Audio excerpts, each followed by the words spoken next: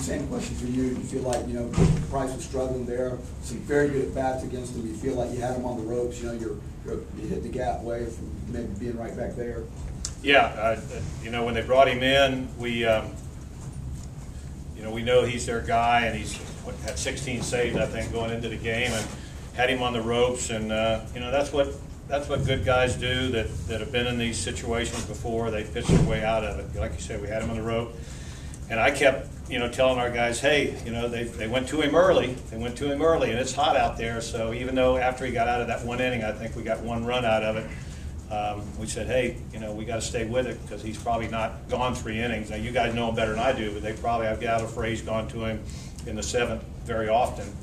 Um, but uh, you know, he great great pitchers and, and, and, great ball clubs step up and and uh, you know they've this this is a veteran club with a with a national championship under their belt and they know how to win and and uh, you know when it, it, it seemed like once we got close and you know got within a couple runs and then that that eighth inning was was huge uh, or, or the ninth inning was huge for them to get those four runs and and kind of distance themselves from us so you know, we, we lost to a to a better ball club. You know, we, we battled and and uh, they they were the better ball club uh, and uh, and they deserve to go on and play uh, play here next weekend.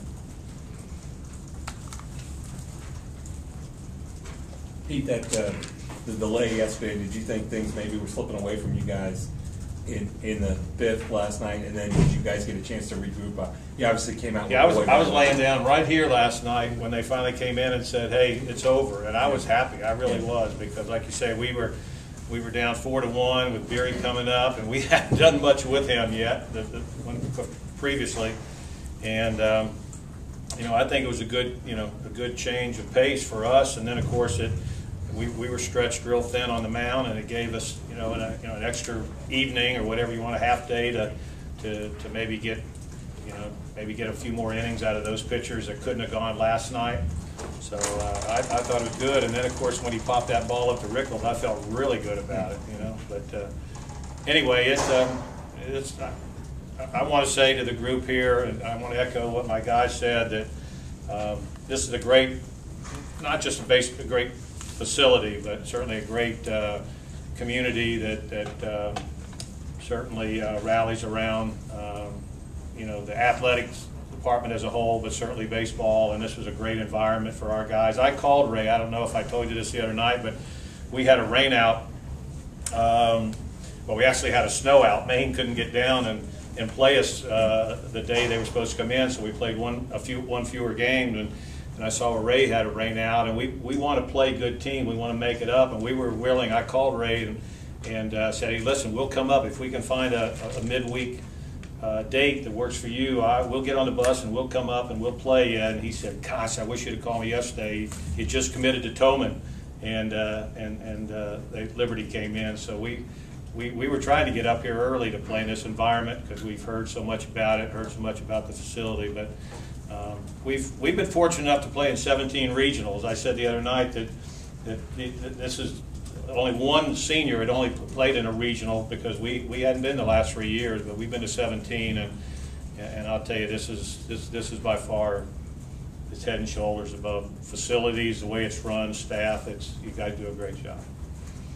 And Ron and, and Mike back there ran a ran a great tournament for the for the NCAA as well. Pete, talk about the effort of Boyd. Boyd, he gave you a chance to, to stay in until the ninth, and just his overall performance this weekend, he pitched really well every time out.